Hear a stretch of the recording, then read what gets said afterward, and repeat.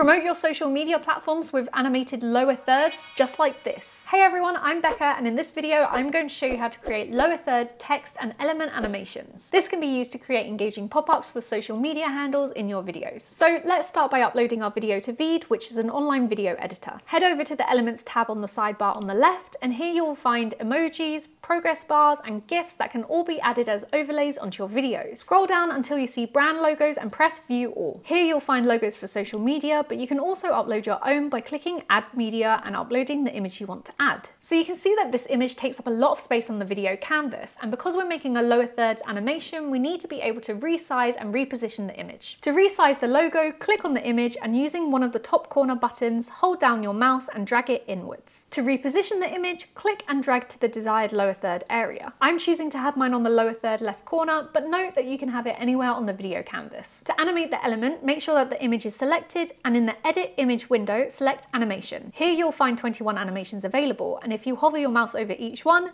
you'll be able to see how it will animate your image. I'm going to select drop as I feel like this one makes an eye-catching impact. Now I want to add text that will show my social media handle. To do this, click the text tab in the sidebar. Here you can see that Veed offers templates, some of which are already animated. If we click on one and add it to the video, all the text boxes are already selected, so we can just drag it down to the lower third of the screen and resize it with the corner buttons. Then we can edit the text and make adjustments so it fits our needs. If you want to fully customize the look and animation of the text, select headline text. You can type out your text in the edit text window and you can then customize the font, size and color. If you want to animate the text, click the animation button and here you'll find 15 animations available. Hover over each one to see how it will animate the text. I'm going to choose the drop animation again as this means that both my image and my text have the same animation and they'll be animating at the same time. You can also add an effect behind the text by clicking the effect button and selecting one of the six available. You can also customize the color of the effect by clicking this button at the top. Just like with the image, you can resize and reposition the text by clicking and dragging the text box to the desired location. I'm going to place mine down in the lower left corner next to the Instagram logo. If you want to adjust the amount of time that they are on screen for, head down to the timeline and click and drag the ends of the box to the desired time time. Watch back the animation by pressing the play button, and if you want to add more than one social media handle, repeat the last few steps. When you're happy with your lower thirds animation, hit the done button in the top right corner and select quality to choose your render settings. Click export video and then Veed will render out your video, after which you can download it as an MP4. And that's how to create animated lower third social media handles. If you want to learn how to subtitle your social media posts, click this video here.